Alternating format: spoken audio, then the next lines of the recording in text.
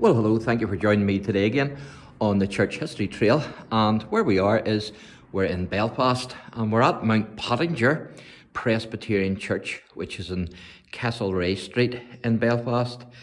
And you can see what it says there to love as Jesus has loved us and to share that love with others. And there's a few wee uh, plaques here inside the church that I'm going to show you. And this is a roll of honour.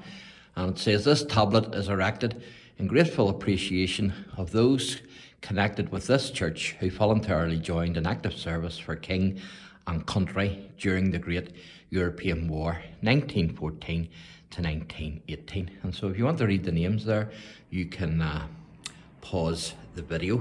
And it says at the bottom, God is our refuge and strength. And there's another one I'm going to show you, and then I'm going to show you uh, the, the first minister of the church, a plaque to him. But I'm going to show you this one here as well, because this says killed in action. And this tablet is erected in loving memory of those connected with this church who fell during the Great European War, 1914 to 1918. And so you can see the first one there is a second lieutenant, George J. Irvine. And uh, so you can pause the video there and you can you can read right down there and it says faithful until unto death. But the next one that I want to show you is this memorial plaque here. And of course, this is in the hall of the church just as you come through the front doors. And it says, erected by the members of Mountpottinger Presbyterian Church in memory of the Reverend David Hunter, their first pastor, by whose labours the, the congregation was founded and this edifice erected. It says he was an able preacher, a faithful pastor, an affectionate friend, and a benefactor to the poor. He died 14th of November 1884 at the age of 42 after a pastorate of 17 years, deeply regretted by his flock and a wide circle of friends. And then it says, Precious in the sight of the Lord is the death of his saints. So there you go. And so you can see hope and you can see peace. And of course, our hope and our peace is found in Jesus. And here you can see the uh, that's the Boys Brigade badge. And of course, I used to be in the Boy Brigade. The Boys Brigade, only I wasn't in this one, I was in the Legacurry one near Lisburn and that's the badge of the Presbyterian Church, Ardens sed virens. So we're going to have a wee look around the church here, and I'm going to do a few wee videos in this church, but uh, absolutely fantastic, isn't it? Beautiful church, and you can see the pews. So absolutely fantastic. And that's some ceiling as well that they have, isn't it? Beautiful. And then the big pipe organ.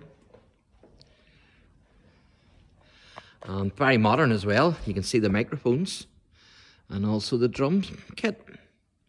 And they've got the organ there as well. So uh, they're certainly very modern.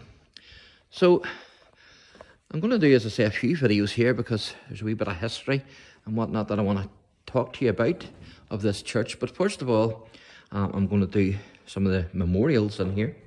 And this one is uh, erected by the members of this congregation to the glory of God and an affectionate remembrance of the Reverend Robert Duff.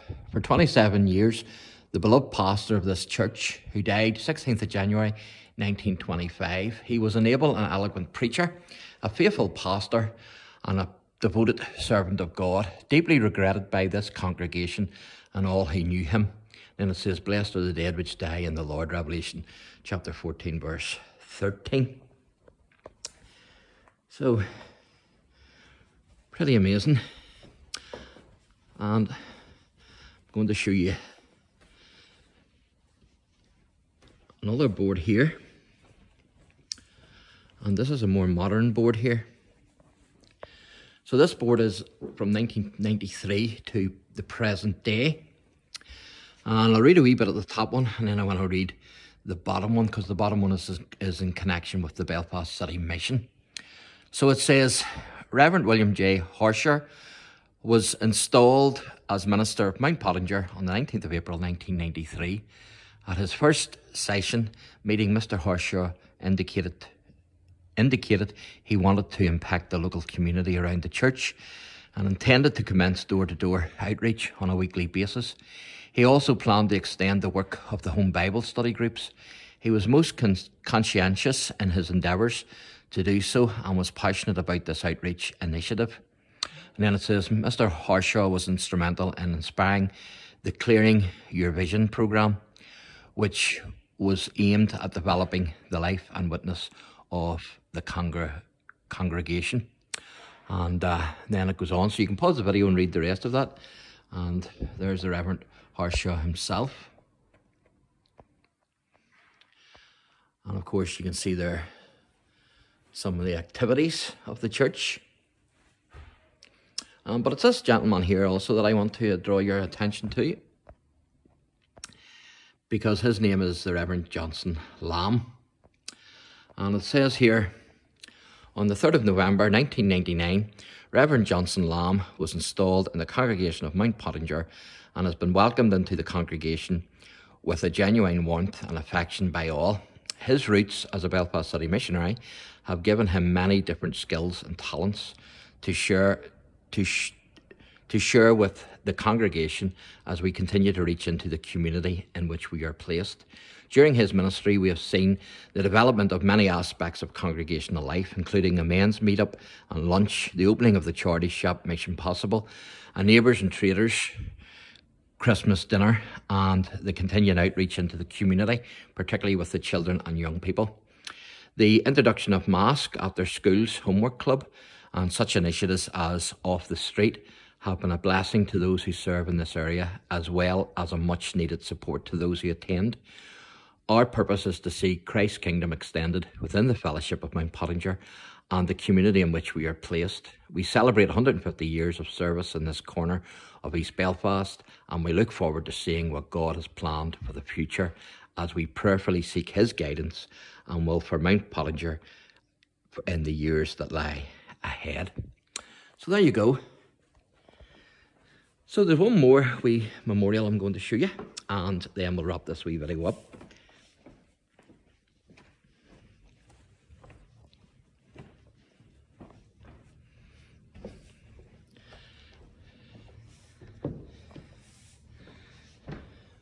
There you can see the pipe organ and it's this one here. Now, what I might have to do is get my trusty torch out for this one, if I can find it.